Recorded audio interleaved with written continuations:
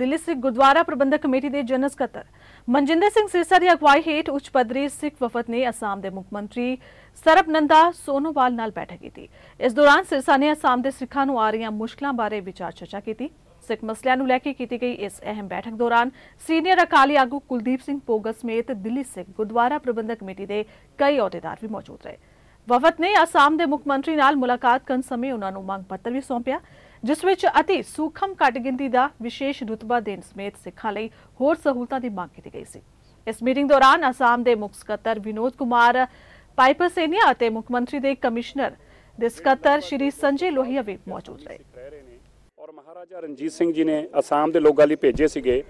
ਉਹ ਸਿੱਖ ਜਿਹੜੇ ਨੇ, ਅੱਜ ਆਪਣੇ ਆਪ 'ਚ ਮਹਿਸੂਸ ਕਰਦੇ ਨੇ ਕਿ ਉਹ ਫਾਈਨੈਂਸ਼ੀਅਲੀ ਉਹਨਾਂ ਦਾ ਸਟੇਟਸ ਔਰ ਉਹ ਬਹੁਤ ਡਿਪਰਾਈਵਡ ਫੀਲ ਕਰ ਰਹੇ ਨੇ। ਉਹਦੇ ਵਾਸਤੇ ਅਸੀਂ 11 ਪੁਆਇੰਟ ਲੈ ਕੇ ਮਿਲੇ ਸੀਗੇ ਜਿਸ ਚੋਂ 6 ਜਿਹੜੇ ਉਹਨਾਂ ਨੇ ਸਾਡੇ ਇਮੀਡੀਏਟਲੀ ਐਕਸੈਪਟ ਕਰਕੇ ਔਰ ਉਹਦੇ ਵਾਸਤੇ ਇੱਕ ਨੋਡਲ ਆਫੀਸਰ ਜਿਹੜਾ ਹੈ, ਇਹਨਾਂ ਸਾਰਿਆਂ ਨੂੰ ਇੰਪਲੀਮੈਂਟ ਕਰਨ ਵਾਸਤੇ ਬਣਾਇਆ ਹੈ। ਰਾਜੇਸ਼ ਪ੍ਰਸ਼ਾਦ, ਇੱਕ ਸੀਨੀਅਰ ਆਈਐਸ ਅਫਸਰ ਨੇ ਕਮਿਸ਼ਨਰ ਸੈਕਟਰੀ ਨੇ, ਉਹਨਾਂ ਨੂੰ ਨੋਡਲ ਅਫਸਰ ਬਣਾਇਆ ਹੈ। 10 ਬੀਗੇ ਜਗ੍ਹਾ ਅਸੀਂ ਉਹਨਾਂ ਤੋਂ ਮੰਗੀ ਸੀਗੀ ਐਜੂਕੇਸ਼ਨ ਇੰਸਟੀਟਿਊਸ਼ਨ ਵਾਸਤੇ, ਜਿਹੜੇ ਉਹਨਾਂ ਨੇ ਇਮੀਡੀਏਟਲੀ ਸਾਨੂੰ ਦੇ ਦਿੱਤੀ ਕਿ ਤੁਸੀਂ 10 ਦੇ ਜਗ੍ਹਾ ਦਿਓ ਔਰ ਇਹਨਾਂ ਨੂੰ ਆਪਣੇ ਪ੍ਰਿੰਸੀਪਲ ਸੈਕਟਰੀ ਸਾਹਿਬ ਨੂੰ ਕਿਹਾ ਕਿ ਇਹਨਾਂ ਨੂੰ ਇਮੀਡੀਏਟਲੀ ਦਿੱਤੀ ਜਾਵੇ। 5 ਕਰੋੜ ਰੁਪਏ ਉਹਨਾਂ ਨੇ ਦਿੱਤਾ ਹੈ।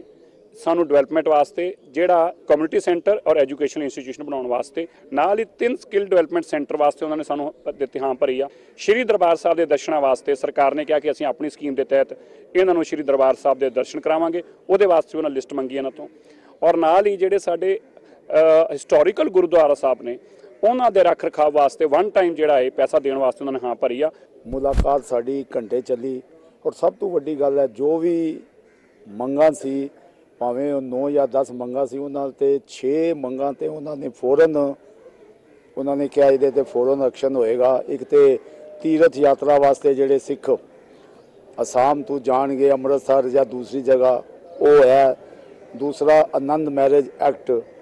ਤੀਸਰਾ ਜੋ ਹੈਗਾ ਕਿ ਇੱਥੇ ਇੱਕ ਵੱਡਾ ਕਮਿਊਨਿਟੀ ਸੈਂਟਰ ਬਣਾਇਆ ਜਾਏ, ਇੱਥੇ ਇੱਕ ਹਾਲ ਬਣਾਏ ਜਾਣ, ਉਹਨਾਂ ਵਾਸਤੇ ਵੀ ਕਿਹਾ ਮਤਲਬ ਸਾਰੀਆਂ ਗੱਲਾਂ ਉਹਨਾਂ ਨੇ ਮੰਨੀਆਂ ਨੇ ਤੇ ਉਹ ਗੁਰੂ ਘਰ ਦੇ ਨਾਲ ਬੜੇ ਜੁੜੇ ਹੋਏ ਹਨ। ਔਰ ਸਾਨੂੰ ਇੱਕ ਇਹ ਵੀ ਵਿਸ਼ਵਾਸ ਦਿਲਾਇਆ, ਅੱਗੇ ਜਿਹੜੀਆਂ ਵੀ ਮੰਗਾਂ ਹੋਣਗੀਆਂ ਸਿੱਖਾਂ ਦੀਆਂ, ਮੈਂ ਉਹਨਾਂ ਨੂੰ ਹੱਲ ਕਰਾਂਗਾ।